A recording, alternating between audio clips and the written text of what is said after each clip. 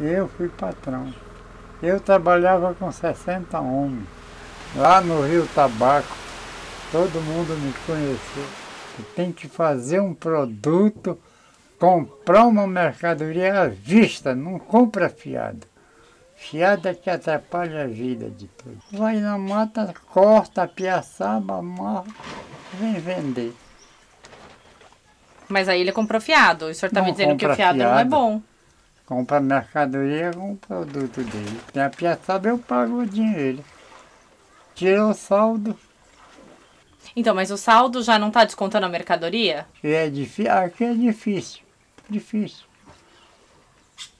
Todo mundo compra mercadoria. Fiado. Fiado.